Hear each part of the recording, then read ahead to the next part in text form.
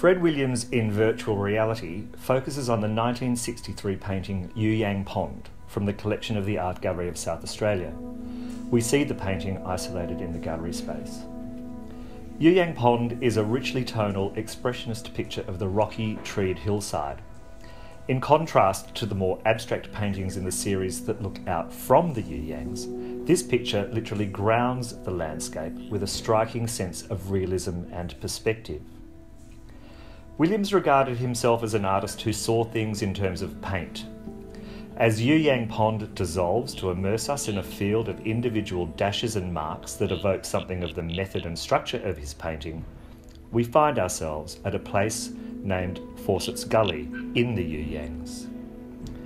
You Yang derives from the local indigenous names Wurdi Youang, one translation of which may be Big Mountain in the middle of a plain.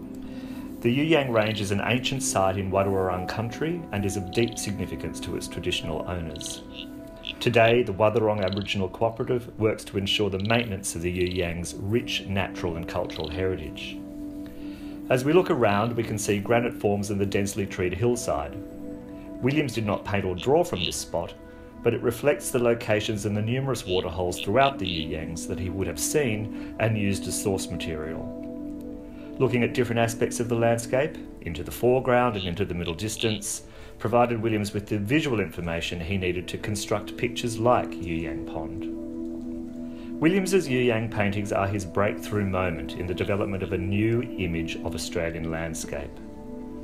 The series, of which You Yang Pond is a part, brought him to national attention, and his highly original painterly mark made his art instantly recognisable as Williams' country.